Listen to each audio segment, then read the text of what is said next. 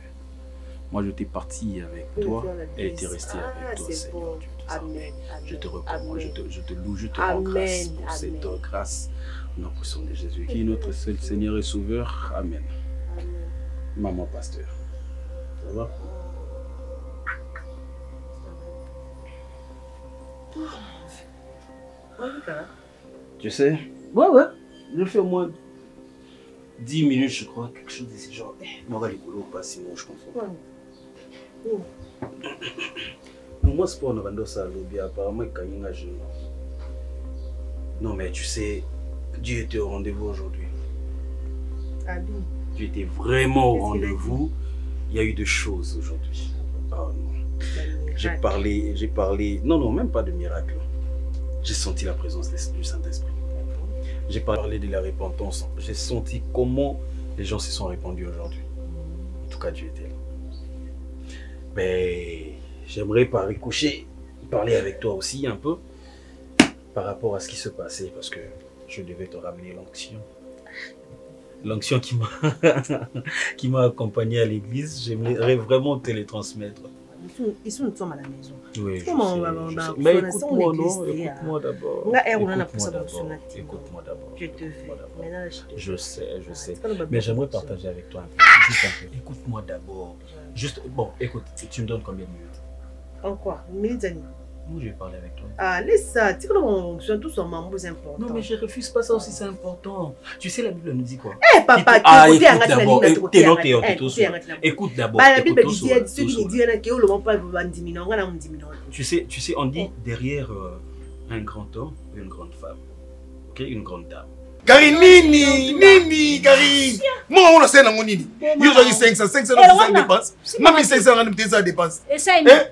tolia biloko oyo oyebi ke tolia mikolo oyo oyebi ochange régime olia okomi kaka na ebale tolia koba tolia mboto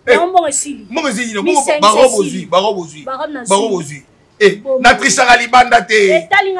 nasala yango deux trois fois pasi eke na lingai nayeba soki bu na yo eza libanda oleki aurélie oleki gladis eh, mama nini oleki chantal oleki fifi bakombo nyonso mokili oleki bango eh,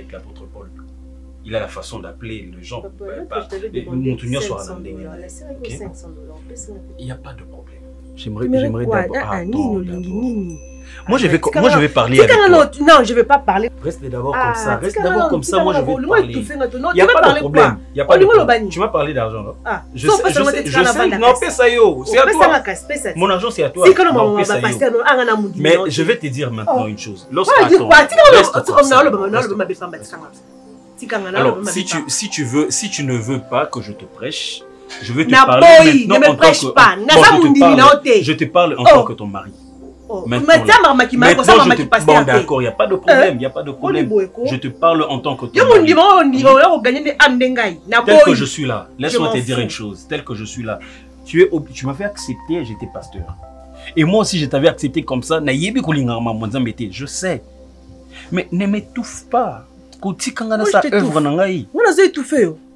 e zela non tika nga nani e nga nako étouffe na nini yebisa nga nakomi ndoki diboke moi suis devenu une sorcière ha joel nga nakomi ndoki eloko olingo yebisa nga yango wana nga nako étouffe par rapport ya nini soki mozokokola mama osambela te oyoka mama osala bato délivrance te kokotisa na kati ya bétise no te o oh, depuis kanga na komako étouffe yo benga kaka ndoki lobake non oza ndoki ozo étouffe nga loba na nga bongo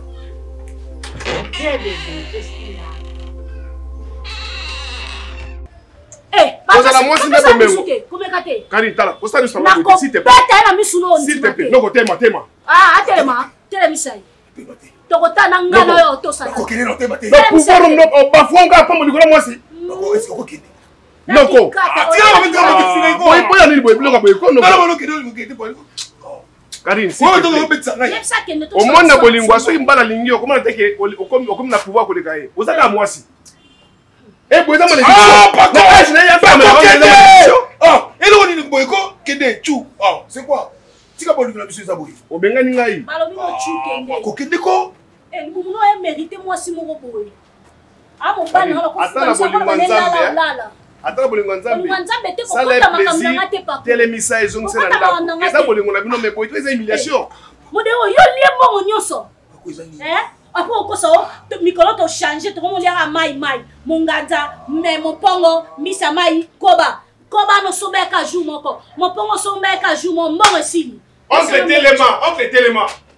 noko telema nanu bako nakosala injure moko ondima te nga mnasala injure wana okola mpenzaka ekofukama bien par rapport ya injure oki okay.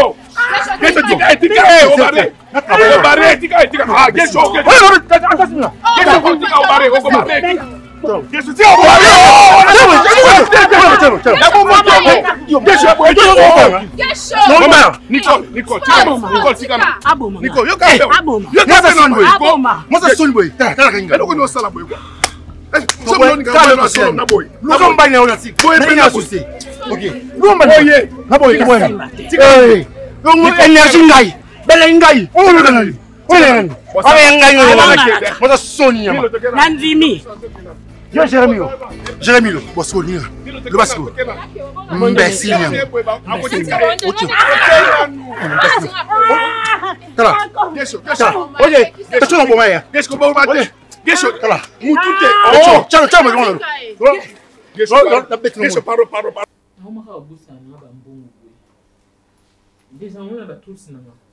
Solo lobi penza o contrôler bien ozanga omona. Baba baba kaka. Hein? Baba kaka. Banda wana ebu buki wa tota te biso ba to solo na sema bi. Mais ngai de longola mwa ba locks na lobi leki boka mwa msa boka baza. Hein? Kama nga. O kata rate. Ngai normalement eza misaka na osala. Eza kaka. Wana ba réalité. na nga atangaka atangaki na nga ma bien nazalaki mpe bien bofani mosalaka te loko otanga osala na biro nga mwa balokanga oyebaki baluka na nani ata mwasi mosu ye moko ayebisaka mwa na lokai mimkoyaka obete monde osu ayebi soki omoni ngambo na lokai yo mpe sala eloko amba asukaki oyebi mpe abetaka mpe lisolo ke omoni nga mpenza mwana ndeko na ngai abetanga tika histoire mpona kofuta yango ezozalaka mwa manevre epuis ndenge nasolaki na papa alaki na mama kobakisa na ata quelque chose ah, caleb yo mpe okopenda olobaki yo babakisa yo quelque chose nga kabela ko te bambongo nyonso to nga kabela ko so tobi tokokisa yango salaire no eleki te ah, ozala bon poigni Ah. Naza na bacharge bacharge eza bacharge ni nga kutu oyaka oyebisa nga moko wana mpo na gabana mpo na minerval nayesaki gabana kotungisa papa ya bino te mona ngai kasi ozofuta nga 70 soki okomaki ata na 100 tala kaleb nayebisi yo libanda moi ezali vanda nokanda ozovanda oyeba misala miso bafutama bacombien ba 50 million toza 70 dollars bafuta bango ba 50 mil ba 60 mil eh, eh, tofanda na biso ka nde tosi tokóma lokwa famille boye tominisana yo moto otuna mama mo papa akabelaka yo nga mpe nakabelaka yo ah. nini yango eleka te abi kaka nde eza boye bacharge eleki fo tomeka mpe kokanisa ye na salaire tobakisele mbongo nani bienvenu tale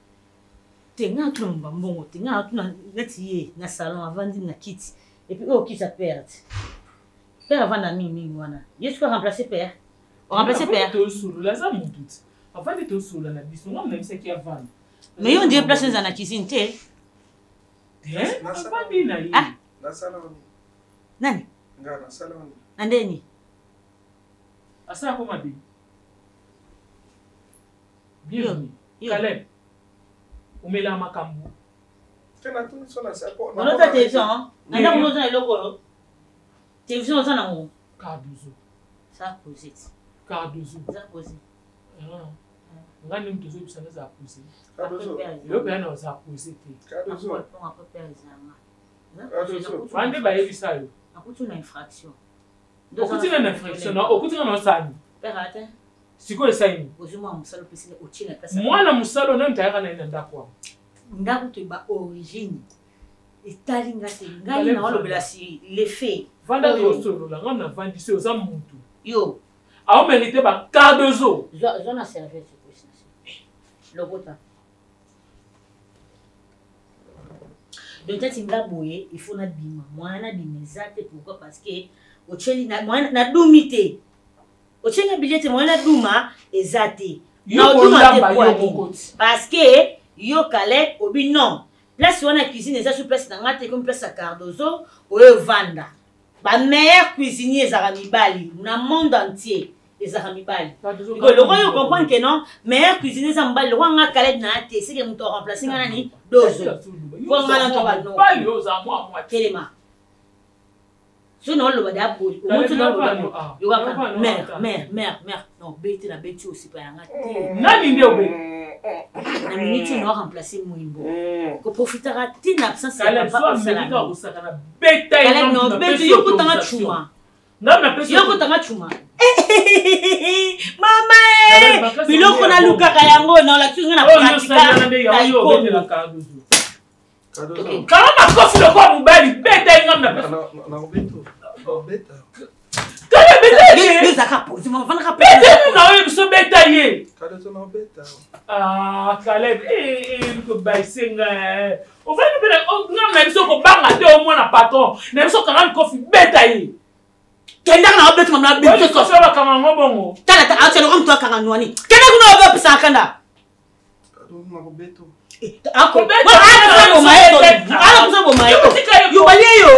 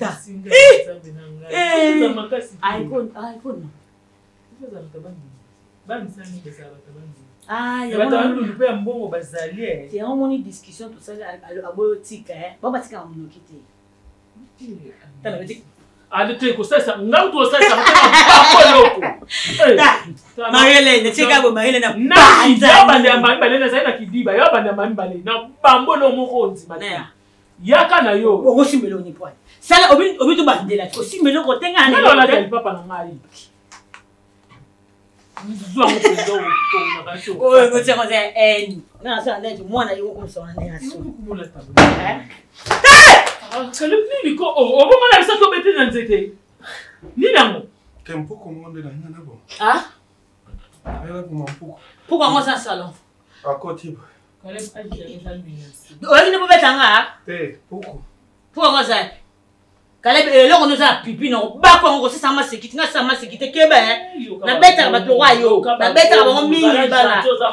oki wana soki osimbeli nani obune nga nga ne mpuku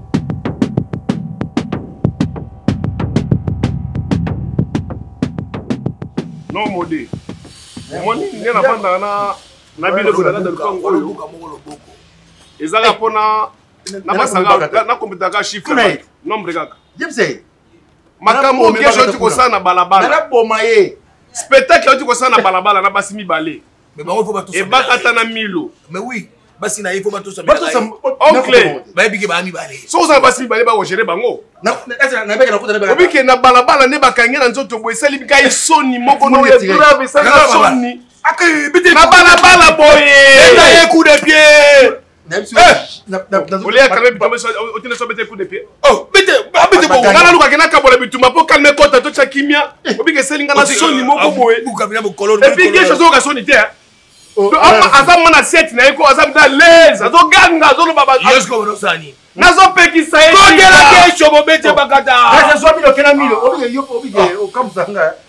ozo gera basi bongo te que sans blague hein yango moni que nalinga kuna yo linga na ata yebaka te nazo mona garantie na longo basi sala nga soni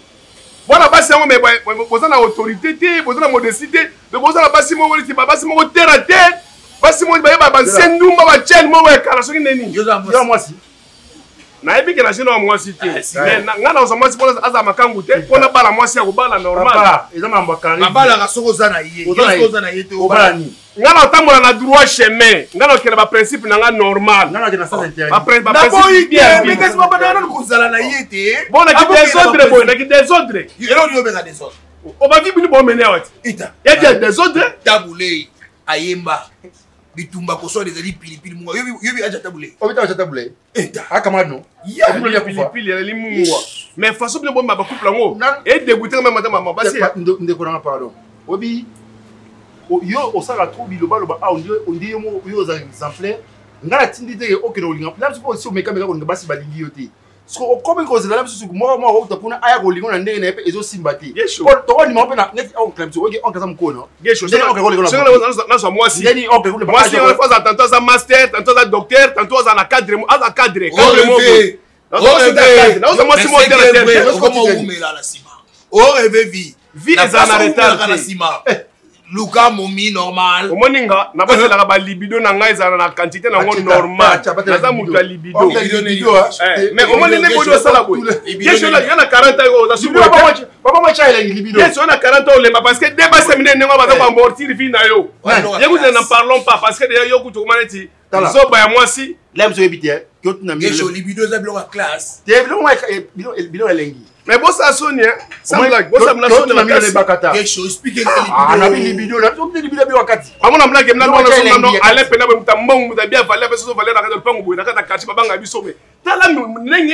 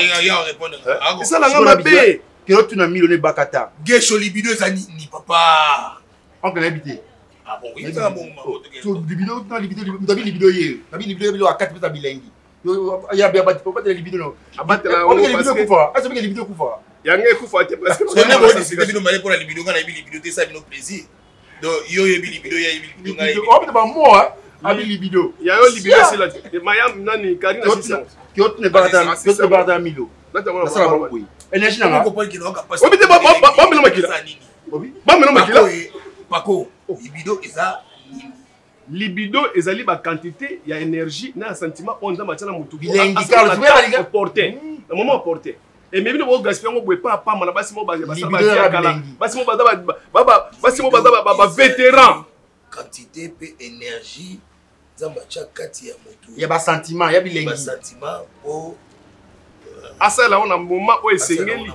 ekokufa ekufa ekokufa te parce que naotamba na obanga nzambe naotamba na obanga nzambe naotamba na ndenge ya crainte de dieu ekokufa te parce que vie de prière vie ebatela nzoto ya mutu or ame na nga esprit ezali plongé dans la prière dans la vie de sanctification alors c'est quoi Oh, yo ozo balinga kokosela biso na te bosala soni ya lopango na biso soni ya famille mabana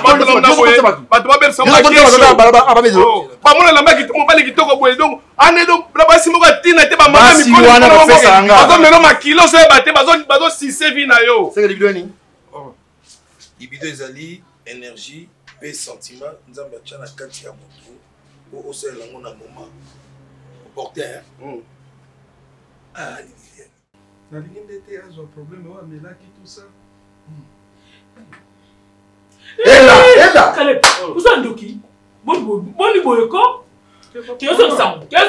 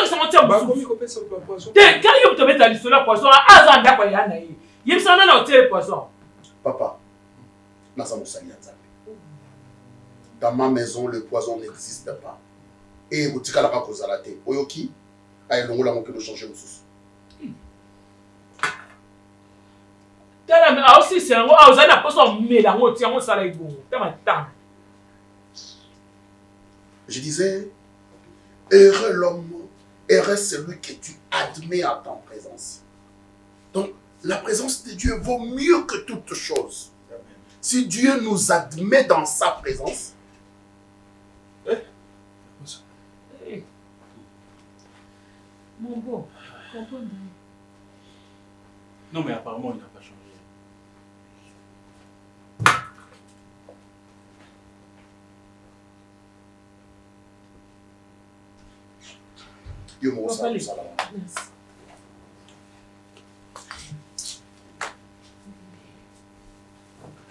Et je disais, si Dieu nous admet en sa présence, c'est que le bonheur est tout près de nous. Car il a dit, un, cherchez l'éternel pendant qu'il se trouve. Donc, si Dieu se, fait trouver, c'est parce qu'il y aura un moment qu'il ne se laissera pas trouver. Oui. Amen. Il y a un moment où Dieu se fait trouver facilement.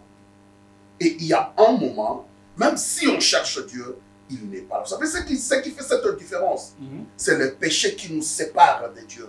Oh my God.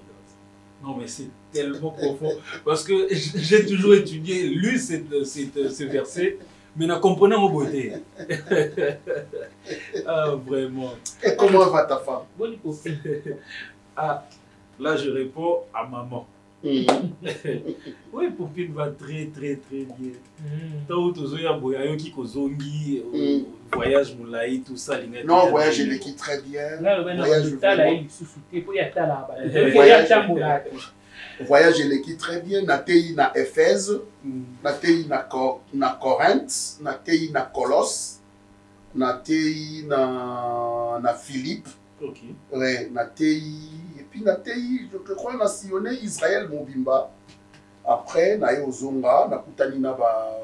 na ba mage israelite na kutani na bango tosololi et puis bon là c'est bien hein? faut avoir un temps okende osala pe oui. oui. il faut pe okende otala okende otala tomba jésus